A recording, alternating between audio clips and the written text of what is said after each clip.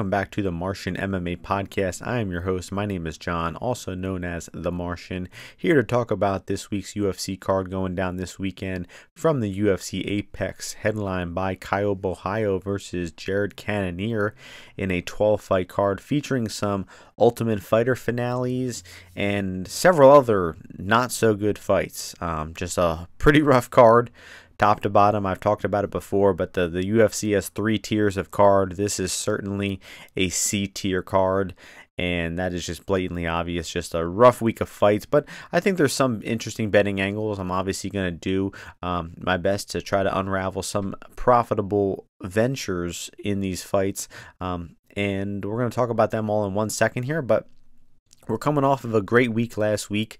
Um, it was a, a, big, much needed bounce back week uh, for me in terms of, of bets and predictions.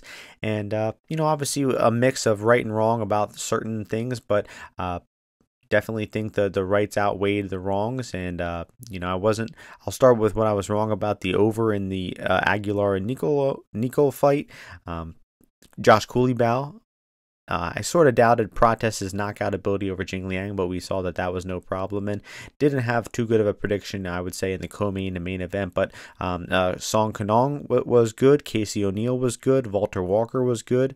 Um, the Rozenstruik fight and the Hooker fights, I think I predicted those very well, uh, especially the Dan Hooker fight. The you know the Hooker uh, money line, the fight going the distance, the Hooker decision, the split decision. I mean, I think I really predicted that fight well, and that was a very, very profitable fight with a plus 300 underdog winning. The underdog Walter Walker cash in in easy fashion. Um, and then I also shouted out the over in the Carlos Prates fight. Um, that, that was able to cash the over significant strikes in the Prates fight. Um, so I just think it was a pretty a solid week of, of predictions for me. Definitely very profitable. And uh, mostly thanks to our boy Ricardo Ramos now, uh, an official boy of mine who was a absolutely mad massive underdog in the entire portion of that fight, despite it being very close and that happened to squeak out a split decision in the very end. Uh, that was huge and I just enjoyed the card uh, top to bottom as well. DDP is he continues to be an enigma. I continue to predict his fight wrongs. Uh, that guy is just a fucking animal. He's a juggernaut. He's a junkyard dog. He is whatever acronym or you know nickname you want to give him. Um, but that guy is a, a, bad motherfucker, and I can't wait to continue to see him fight. Um, and that's enough about last week, though. We are going to get into the first fight on this week's card, which is in the women's flyweight division between Cong Wang and Victoria Leonardo. Odds for this one have Wang at minus 1200 to Leonardo at plus 800. So, I mean, if this is a Chinese woman with five MMA fights, and uh, you know, it's worth noting that she's Chinese because the, strength of, of the competition over there not very high. Um, so, uh, you know, if you're watching the tape on this woman, you're thinking, hey, man, is she going to be 90%? You would think she, she's some unstoppable juggernaut who is skilled on the ground and on the feet and has been beating opponents easily and finishing them. Not really the case at all. I mean, I don't. I I think that she's solid on, on the mat and on the feet, um, and could be potentially promising. But uh, nothing I've seen from her in MMA would suggest to me, oh, she's over 90% to win a fight. She beat the, the veteran Wu Yanan. She got a finish on the road to UFC against a total bum opponent, but I just haven't seen anything in these fights that really impressed me. And I, I certainly think she's getting some sort of bump from the fact that she beat Shevchenko in kickboxing 10 years ago. So she comes from a kickboxing background, but I mean, five MMA fights. Um, Leonardo is not good, right? She's very flawed in all areas of, of MMA, but she's she's tough and she's experienced. Three times the experience. She's fought in LFA, Invicta, the UFC, fought really, really good competition in the UFC. The three women she's lost to are are all skilled women, you know, top five, top 10, top 15 women in Fiorot Gatto Silva. Fiorot is probably the best damn uh, flyweight in the UFC. So, I just don't understand where people are getting 90% confidence from Wang in. Um, so a small bet on Leonardo is warranted. Uh, you know, it's just a roll the dice and uh, women's MMA has has done a lot crazier things than this woman shit in the bed in her UFC debut. So I, I, I think this line is insane. I don't understand where this confidence in, in Wang is coming from. And uh, yeah, that, that'll do it for that fight. We're moving on to a featherweight fight um, in some with some newcomers here. I haven't even began to think about how to pronounce this guy's name. Um, Zygimantas Ramaska taking on uh, Nathan Fletcher. I'm gonna call him Ram I'm going to call him the, the, Lithuanian guy. His name is Ram. Taking on Nathan Fletcher. Fletcher is minus 150. Ram is plus 130. To be honest, don't have a really strong read on this one. I've watched a few of these guys fight, but don't really have a, a confident uh, read here. Um, Fletcher, most of his wins have come by submission, although on the contenders or the TUF, he got you know destroyed on the mat and taken down and stuck on bottom for long, long periods of time. And most of the guys he's beating um, are just, you know, regional tier guys over in Cage Warriors, and we know those guys all suck at grappling. So uh, I have some questions about that, but it definitely seems like Nathan should have the grappling advantage here.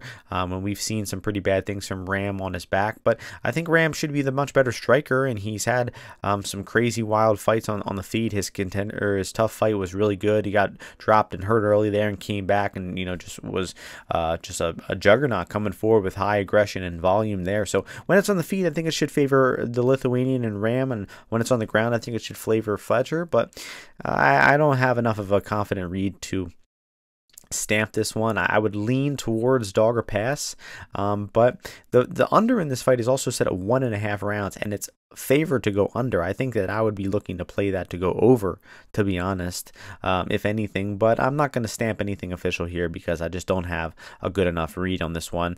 Um, so just sit back and watch that one, gather intel, look for live bets, and we're moving on. Another fight in the women's uh, bantamweight division this time. Jo- Josiane Josie, uh, whatever, Nunes taking on Jacqueline Cavalcanti.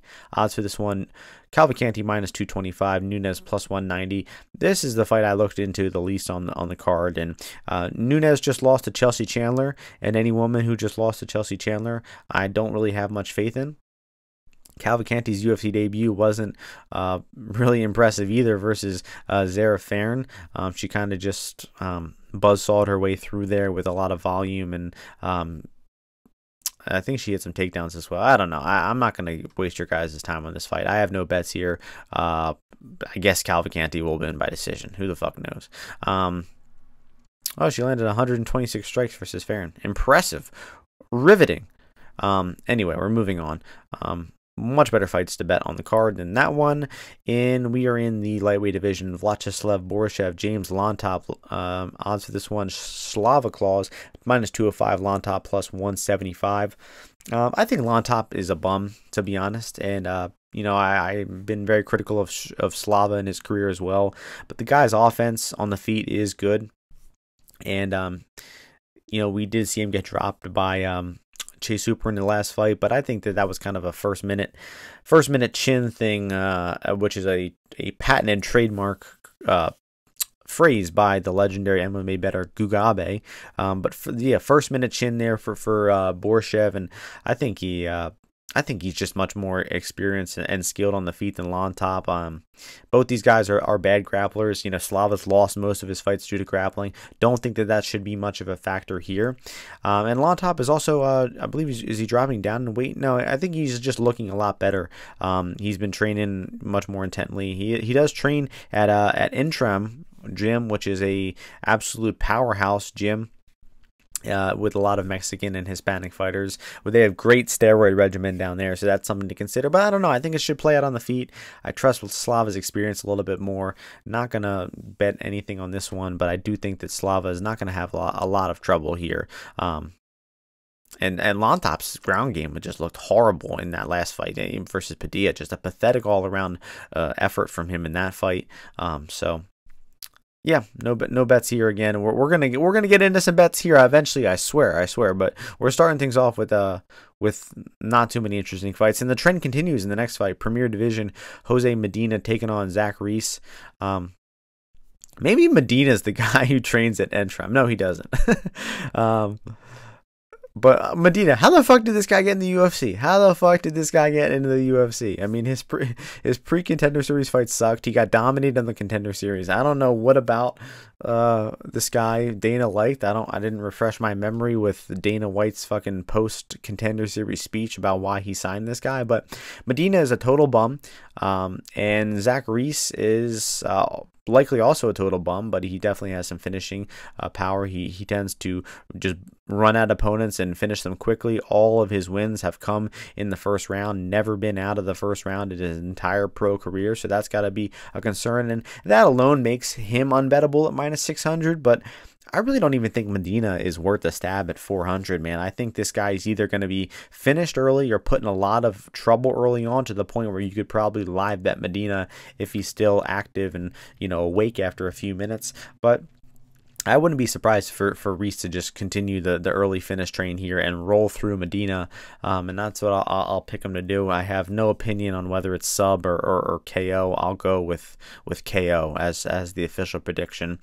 Um, all right, now we're going to get into some more interesting fights. Featherweight division, Dennis Buzukja taking on Francis Marshall. Odds for this one have Marshall minus 140, Buzukja plus 120. New Jersey versus New York here. This is a good one.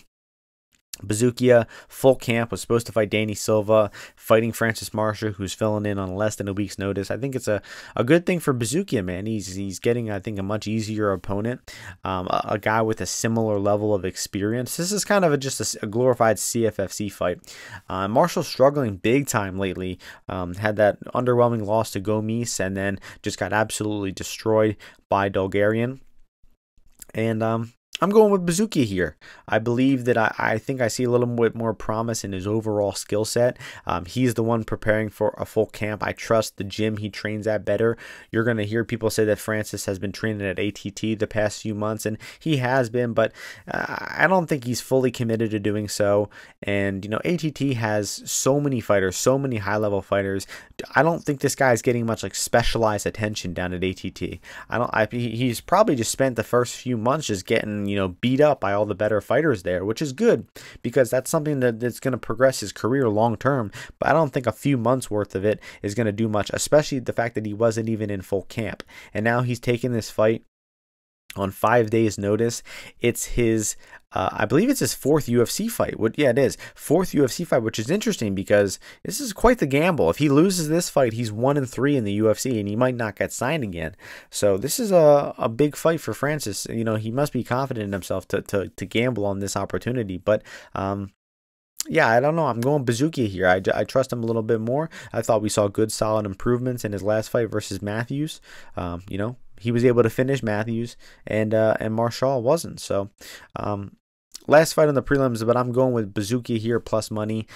Interesting to see that that the guy coming in on five days' notice is the favorite. Um, I think Buzukja is being a little disrespected here, and I'm going with New York to win the fight at plus money. Main card time, six fight main card. We got two fights uh, crowning the winners of the contenders. And um, just a thrown together main card here. I mean, this Borralho and, and Cannonier fight wasn't even put together until like two weeks ago. So, starting things off, another fight in the Premier Division. That's a good sign. Shahbazyan versus Meerschaert. We have Shahbazyan minus 305 coming back with Meerschaert at plus 255. Uh, you know, I definitely skew towards Meerschaert being the side here.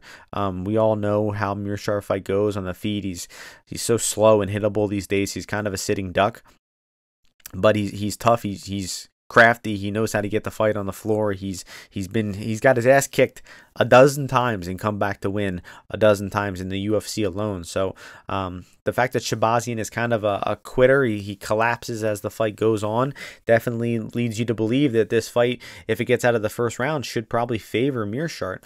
Um, but then it becomes the question of is it better to, to wait to live bet Meerschaert or is it better to take him before the fight? And that is a fight that, that is a question that I don't exactly have a definitive answer to. But um, I would lean bef- I would lean before the fight is fine. I mean, obviously the fact that Shahbazyan finishing in the first round is is built into the equity of this line at minus three hundred. And I just think it's going to get really hairy if it hits the mat at any point or if it gets out of the first round. Um, so I think I would say go small before the fight on Meerschaert and then be ready to add more uh, once the fight plays out and once you're seeing how it goes. Um, because very, very good chance that Meerschaert eats some big strikes here. Might even get knocked out pretty quickly. And it might look like uh, Shahbazyan minus 300 was, was perfectly fine. But historically, considering how, how often Shahbazyan has collapsed um, against much better fighters than Meerschaert, let's give him a little bit of credit. You know, um, Brunson, Hermansson, Imavov, Hernandez, all those guys are really solid fighters. Um, and he typically has passed this kind of uh, this kind of tier of test. Um, but I'm going, uh, yeah, I'll I'll have some faith in GM3. Don't bet GM3 subline. It's only plus, you know, 600 while his money line is almost at 300. So, um, small roll of the dice on Meerschaert. Be ready to add later. And then uh, what is Meerschaert in the second round? Uh, plus a thousand and the third 1200. Those aren't really great odds, honestly, for a plus 250 underdog. So, um, yeah, go go GM3 though. Much much cooler guy. Been uh, been a profitable guy. If you uh, have been around the MMA betting sphere for a while. Speaking of a profitable guy for the MMA betting sphere as an underdog, we have possibly the most perennial underdog of the past few years, Neil Magny, in the next fight, taking on Michael Morales in the welterweight division.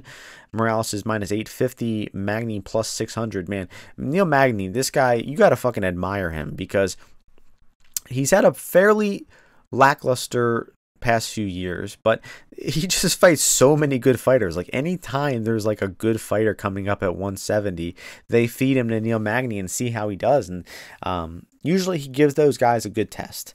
And um, I think he'll he'll give a good test to Morales here. I think this is a, a solid step up for for Morales. Um, I don't think it's uh, I think like Griffin and Matthews are, are were solid guys around the same tier as Magny, but you know, Magny has a mythical way of dragging fights into competitive areas where he gets the fight in the clinch and he wears on you. And, um, you know, I don't think that Magny's just going to get completely outboxed here and shut out to, you know, uh, either a finish or 30 27. I don't think Michael Morales is going to look 90% here. I think his line's gotten a little out of hand. I think minus three to 400 would probably be fine for, for Morales. But even in his recent fights against Griffin and against um, Matthews, those were competitive fights. There were competitive striking exchanges, especially the Matthews fight. I mean, it might sound crazy to some people, but I remember people scoring that fight for Jake Matthews, um, which it doesn't seem that outlandish to me. I, I was a very competitive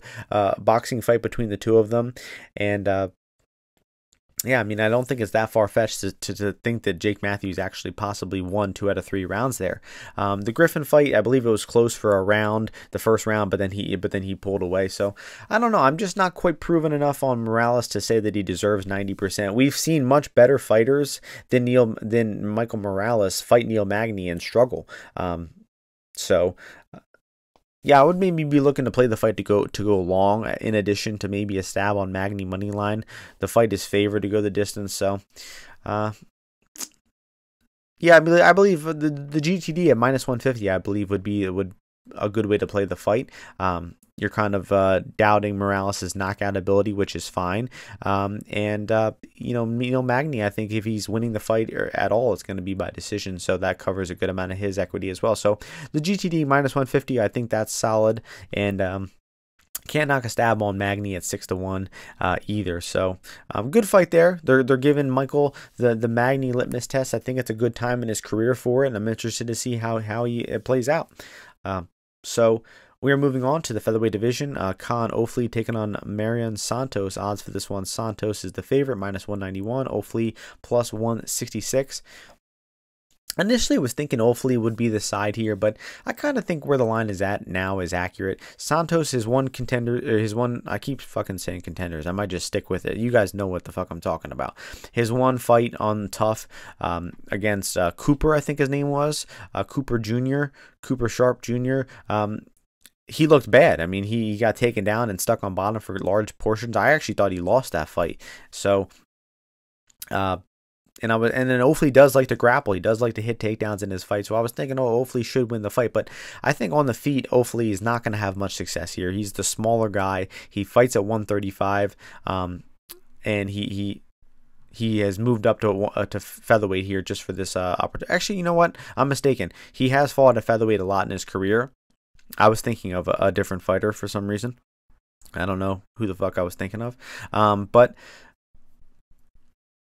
um, Ofli is likely going to need takedowns to win this fight. While I think Santos should control the distance striking of the feet, he does seem like the much sharper striker. Is going to have some size on Ofli, and he might get taken down here. But I don't think Ofli is very dangerous on the mat. I don't think he's going to, you know, massively control Santos or put him in an imminent finishing threat. So I think Santos could get taken down here a few times and still work his way back up to the feet, land the better strikes, win a decision here. So um, I think the line where it's at is accurate. You know, um, again, these are tough guys, uh, inexperienced guys. Um, so I'm not really, I don't really have a definitive read on these guys. So I would tread lightly on all all three of these these TUF fights. I would tread lightly. Although the next one I think is the most confident one I'm in. So we're gonna move on to that fight, Premier Division again.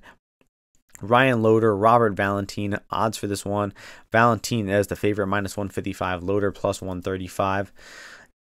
So I did I did most of my foot. Uh, I did the most amount of tape study on this fight out of the three TUF fights. And um, I think Loder is going to be the side deer plus money. You know, he comes from a wrestling background. He's certainly looking to get the fight on the floor. His striking isn't good, but it seems like he he knows his limits. You know, he he's not throwing a lot of strikes. He's not engaging in the pocket a lot. He's being very cautious on the feet. And that's what he wants to do here because Valentin, um, he's a big swinging fighter. He, he has that nasty knockout on the contender series with the elbow.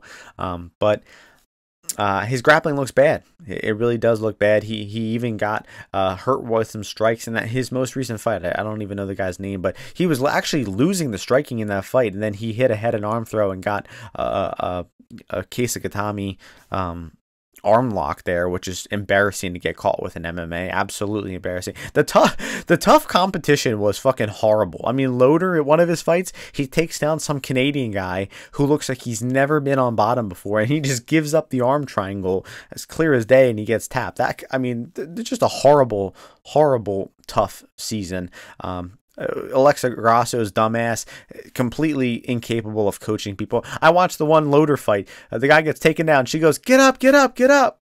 Um, yeah, I think he fucking knows he needs to get up. And what what good advice is yelling "Get up, get up, get up" at a guy who just got taken down, and then he gets submitted 60 seconds later. Um, but getting back to the fight here, uh, Valentin certainly seems like he has the more uh, striking uh, upside here.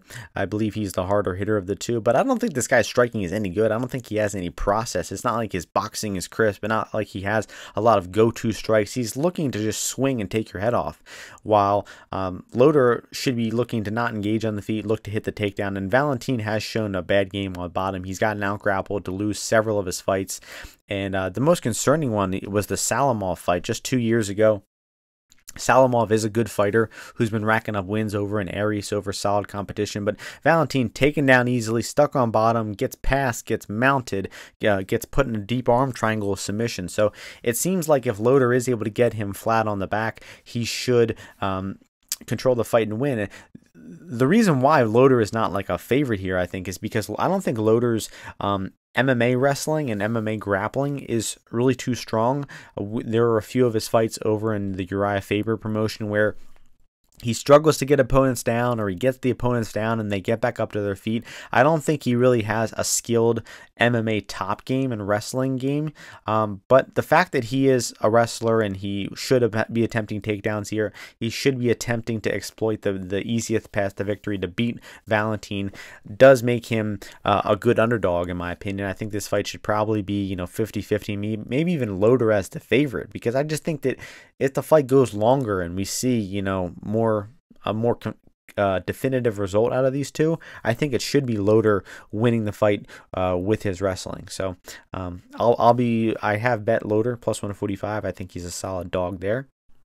Moving on, co-main event, strawweight division, Tabatha Ricci taking on Angie Hill, minus 125 for Ricci, plus 105 for Hill. Um, been a historic fan of Angie Hill. You know, she's not only one of the best fight. I'll say it every time, every time. She's not only one of the best fighters in women's MMA history. She's also the sexiest woman in in MMA history. And if you hear anybody saying like, "Oh, Tabatha Ricci's hot," "Oh, she's a fat ass" or something, bro, fuck that guy, and just take a look at, at just the sex symbol that is Angie Hill. And not only that, she can fight. She's just an incredibly amazing fighter. Don't let the fact that she lost 13 times in MMA fool you. Don't let the fact that she is 12 and 13 in the UFC fool you. She is truly one of the best fighters that women's MMA has ever seen. So, getting down to the fight. Uh, I mean, Ricci's 10 years younger in MMA, in women's MMA especially. But when you're talking about a fight, um, this fight is minus 500 to go to the decision. Um, we're we're probably going to see a 15 minute competitive fight between the two of them, and one woman is 10 years younger. I mean, it's kind of a simple, dumb way to look at the fight, but I, I think it's probably fine to, to just pick Ricci based on youth. Also, Ricci has very good luck with the, the judges. Um, she's had some strokes of luck go her way. Like the one fight, uh, the Loopy fight, I thought she probably lost that one like 30 27, and then a judge scored it for her, which, you know, didn't make a ton of sense to me. Um, the, the, the Tecia fight as well. Tecia Torres, most people thought that Tecia won that one, and Ricci got that, even though she landed 26 significant strikes less than than Tecia. She somehow got that decision. So uh, Ricci has a little bit of mythical decision powers, while Angie Hill been robbed on the scorecard several times throughout her career. Um, Lemos, uh, Waterson, Gadelha. It's happened. It hasn't happened in a while, uh, but um, she's had historically horrible luck with that.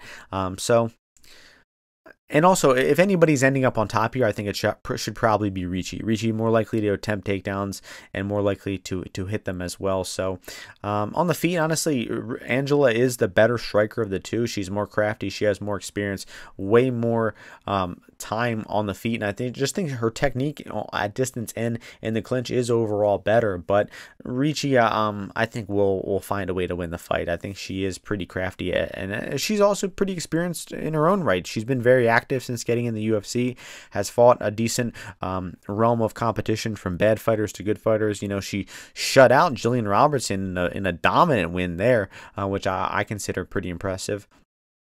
So um, I'll be going. I'll be going with Ricci to win the fight. Unfortunately, by decision. The fight is, like I said, minus 500 to hit the cards. It should be competitive. The odds for the fight to end in split decision are plus 225, which is the narrowest I've ever seen those split decision odds. But still, I mean, both these women have a ton of split decisions, and it should be competitive. Only way it's not competitive is if um, Ricci gets on top for like two out of three or three rounds. Um, but if it's on the feet, if it's in the clinch, man, that shit's going to be really, really competitive, and the rounds are probably going to be toss ups. So um, I'd say reach your pass at current prices, honestly. So um, Moving on to the main event in the Premier Division, and this is actually the fourth Premier Division fight on the card, which is a very promising sign. And it's a Premier Division Apex main event, which those fights have historically um, been amazing, absolutely terrific. No one's ever had a bad thing to say about the Apex middleweight main events. And we're keeping up the trend here. Caio Borralho taking on Jared Cannonier. The odds for this one have Caio as the minus 240 favorite, coming back Jared Cannonier plus 205. So this fight was thrown together pretty recently. I think it was just only two or three weeks ago this fight was announced.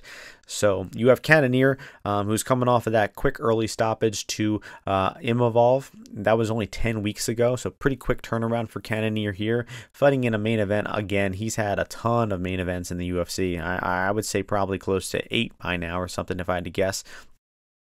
Caio Borralho, first time scheduled for five rounds in the UFC, but he's actually fought the full five rounds before in a regional promotion back in 2020. Um, Vildemar Santos. Um, he won that fight in, in a five round fight going the full 25 so it's good to know that he has some ability and experience in going the full 25 minutes but this is his toughest test to date, man, and his toughest test in a long, long time. I think his UFC matchmaking has actually been really soft and favorable for him. Um, I mean, there's like five guys who he's beaten, five or six guys who he's beaten, who are just flat out bad grapplers, just not really great fighters overall. Um, over Omar Petrosyan, Oleksiejczuk, those guys are straight up horrible on the mat. Muradov uh, and Magomedov are not very good; they're very beatable. And then Craig is just a very beatable fighter overall. Who he didn't even need to take that fight to the mat; just outstruck him on the feet, knocked him out on the feet. And I think this is just going to be Caio's toughest test to date in terms of uh, a striker and a guy to get down. I mean, Cannonier, great striker, great boxer, hard leg kicker, and just had solid takedown defense throughout his entire career. And, um, you know, you'd have to go back a long time to uh, point to a fight where Cannonier lost the fight due to being outgrappled. It would probably be the Jan Blachowicz fight. Um, seven years ago at 205, but really at 185, he I don't think he's ever been out grappled. So, um, he's just a tough guy to get down, and uh, you got to wonder, you know, if this fight gets stuck on the feet and Borralho isn't able to get the takedowns, how is the striking going to look? I imagine it would favor Jared Cannonier, even though he's 40 years old. Even though in his last fight we saw him show a little bit of, uh, you know, mortality, I guess you could say. He looked his age a little in that last fight. He didn't have quite as good cardio. He got hurt with some shots a little bit. Um, a little bit easier than we've seen him in the past, but Still, I think the striking gap between these guys is, is, is a pretty good margin. is not a bad striker. I mean, for a guy who's a predominant grappler, his striking is solid. He's got good kicks, fast hands from the southpaw stance, and I don't think it's going to be a blowout for Cannonier. But I think if we're seeing like entire rounds play out on the feet, I think it should be Jared Cannonier getting the better of it. And I don't think that's very far fetched to say. So you got to wonder how how urgently is Caio going to pursue those takedowns, and how are those takedowns going to fare against a guy with solid takedown defense in Jared Cannonier? And they might work, and he might get him down a few times, might win some rounds with the takedowns, but for a line to be minus 240, 70% for Borralho, that shows some pretty pretty strong confidence in him getting those takedowns and him being able to um, take on this tall task of fighting in his first UFC main event fighting a good opponent in Cannonier. And I think this fight is actually, um, it has much higher stakes for Borralho because he's 16 and 1, right? He hasn't lost since 2015. He's undefeated in the UFC. He's been running through everybody. Meanwhile, Cannonier, I think he's kind of getting. Um, he's kind of getting a break because he just fought 10, month, uh, 10 weeks ago. He had that tough loss. Now he's getting another main event spot. He's getting a good a good high ranked up and coming fighter and he has a chance to get back on track here um, after that last loss, which I'm sure left a terrible taste in his mouth. And, and considering that he did get rocked in that fight and finished, um, he's not fighting a hard puncher in Caio here. So that's a little bit of a, break for him as well. So I think just most things point to, to Cannonier being the side here of plus money. Um, I don't really have a, a clear idea of how the fight is going to play out, but I think that um, plus 200 i think is solid for cannonier who um, i believe is the better striker better boxer has hard leg kicks and is could could potentially chop down the legs of Kai and make those takedowns harder to get. Solid takedown defense a ton of five round experience a lot of experience in the apex going the five rounds as well. And uh, yeah, I think I think things are looking solid here for Cannonier. I think this is a good opportunity for him. So plus 200, I believe, is a good spot for for Cannonier. And uh, you know, just be waiting on the live line here. Look how Cannonier is dealing with the takedowns. Look to add more if he's fighting well. And um, that is going to do it. This week is a weird week of fights, man. I think everyone should be uh, pretty, you know, cautious and have some trepidation about these fights because three of the fights are um, completely new UFC fighters, right? Um, just the tough guys coming in. Uh, Cong Wang making her debut. Uh, has one UFC fight. Reese has two fights. Medina his UFC debut. So you have a lot of younger, more high variance fighters. You also have a few massive underdogs, right? Uh, Leonardo's plus 800, Medina's plus 425. Magny's plus 600. And then you have short notice fights. You have uh, Marshall filling in for Danny Silva. The main event was only put together two or three weeks ago.